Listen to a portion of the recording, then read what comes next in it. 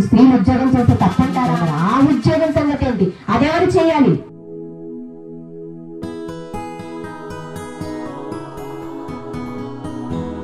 ఇమోటికి రాసిన మొదటి పత్రిక ఐదవ అధ్యాయము పద్నాలుగు వచ్చిన చదువుకున్నాం కాబట్టి యవన స్త్రీలు వివాహము చేసుకుని పిల్లలను కని గృహ పరిపాలన జరిగించుచు నిందించుటకు విరోధికి అవకాశం ఇయ్యకుండవలనని కోరుచున్నాను. ఏం చెప్పాడండి ఇక్కడ దేవుడు?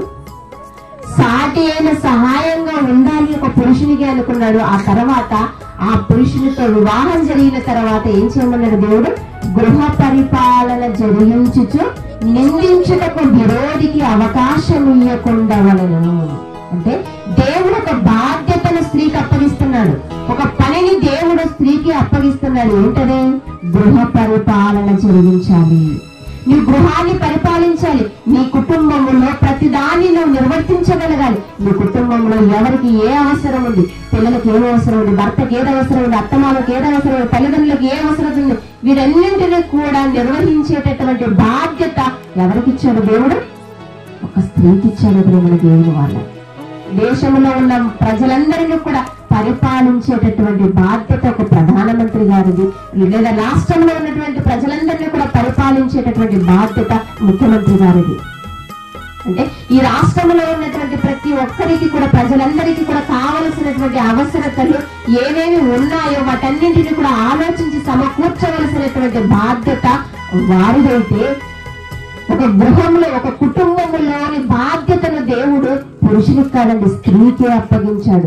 నీ కుటుంబంలో ఎవరికి ఏ అవసరం ఉందో ప్రతి దాన్ని కూడా గుర్తించి వారి కోసం చేస్తూ వాళ్ళందరినీ కూడా దేవునిలో నిలబెట్టగలిగినటువంటి అవసరత దేవునిలో నడిపించగలిగినటువంటి అవసరత పనిని బాధ్యతను దేవుడు స్త్రీకి ఇచ్చాడు దేవుడు అలా ప్రతి ఒక్కరిని కూడా ప్రేమిస్తూ పిల్లలను తని వాళ్ళని ప్రేమించాలట భర్తను ప్రేమించాలి పిల్లలను ప్రేమించాలి తన కుటుంబంలో ఉన్న ప్రతి ఒక్కరిని వారిని దేవునిలో దేవుని జ్ఞానములో పెంచుతూ వారిని దేవునిలో కట్టవలసినటువంటి బాధ్యతను దేవుడు స్త్రీకి ఇచ్చాడు ప్రేమల దేవుని వల్ల. కానీ ఈ బాధ్యతను విస్మరిస్తూ ఈ బాధ్యతను ప్రక్కన పెడుతూ ఈ రోజు సమాజంలో ఉన్నటువంటి స్త్రీలు దేవుడు గురించినటువంటి ఆలోచన దేవుడిచ్చినటువంటి బాధ్యతను మరచిపోయి ఆ బాధ్యతను ప్రక్కన పెట్టి ఈరోజు ఏం చేస్తున్నారు స్త్రీలు? పోరాటాలు చేస్తున్నారండి. దేని విషయం?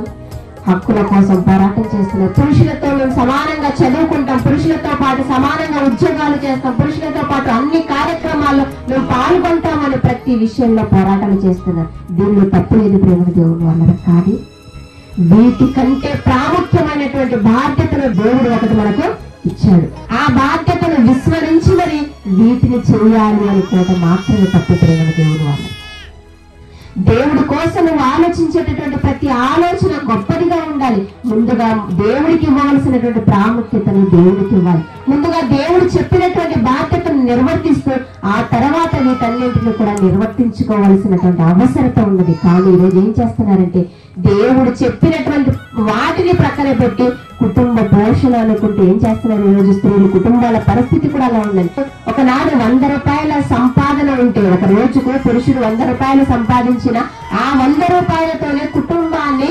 చక్కదిద్దుకునేటటువంటి జ్ఞానం ఒక స్త్రీకి ఉండేది. కానీ ఈ రోజు ఏమైపోయింది? ఎందుకు వంద రూపాయలు మనకు సరిపోవడం లేదు? అంటే ఖర్చులు పెరిగిపోయాయి. మన ఆలోచనలో తేడా వచ్చింది. మన అవసరతలు పెరిగిపోయాయి. అందరిలా మనం ఉండాలని కోరుకుంటున్నాం. ఎన్నో ఆశలకు వెళ్ళిపోతున్నాం కాబట్టి వచ్చేటటువంటి సంపాదన మనకు సరిపోవటం ఇప్పుడు ఏం చేయాలి?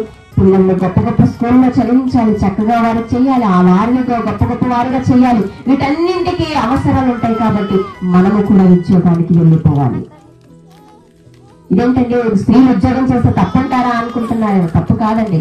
కానీ దానికంటే ప్రాముఖ్యమైన ఉద్యోగాన్ని ఇచ్చి మరి దేవుడు ఈ భూమికి పంపించాడు. ఈ రోజు భూమి మీద ఉద్యోగం లేదనుకొని వాటి కోసం ఎన్నో కష్టపడి చదువులు సం- చదువుకొని కష్టపడి ఉద్యోగాన్ని సంపాదించుకుంటున్నారు. కానీ దేవుడు నీవు పుట్టక ముందే నీకు ఒక ఉద్యోగాన్ని ఏర్పాటు చేసి మరి దేవుడు భూమికి పంపించాడు. మరి ఆ ఉద్యోగం సంగతి ఏంటి అదెవరు చేయాలి?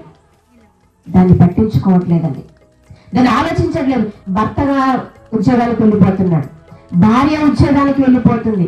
పిల్లలు స్కూల్కి వెళ్ళిపోతారు. వాళ్ళు స్కూల్కి వెళ్ళిపోతున్నారా? వాళ్ళు ఏం చేస్తారు? కొంతమంది తల్లిదండ్రులు వాళ్ళు పట్టించుకునేటటువంటి సమయం కూడా తల్లిదండ్రులు లేక ఏం చేస్తున్నారంటే హాస్టల్లో పడేస్తున్నారండి హాస్టల్లో చదివించేస్తున్నారు. ఎందుకు?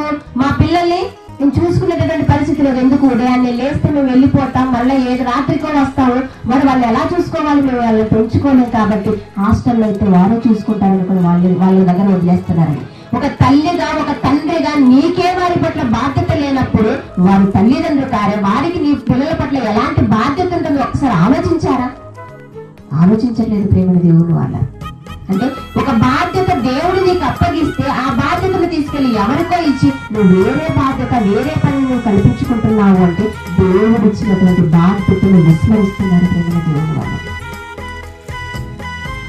ఎలా బ్రతకాలో ఎలా ఈ సమాజంలో ఉండాలో తన కుటుంబాన్ని ఎలా పాలించుకోవాలో తన కుటుంబంలో ఉన్నటువంటి వారి మధ్య ఎలాంటి ప్రేమానురాగాలతో ఉండాలో తెలియని వారుగా ఈరోజు స్త్రీలు ఉంటున్నారు ప్రేమ దేవుడు. వాళ్ళ దానికి కారణం ఏంటో తెలుసా?